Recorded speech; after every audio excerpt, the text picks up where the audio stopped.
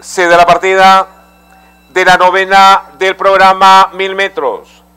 Inmediatamente Guairo busca la punta. A su costado se ubica segundo Pagaré. En el tercer puesto Haisun. En el cuarto lugar Boliche. Y en el quinto puesto muy abierto Atlético.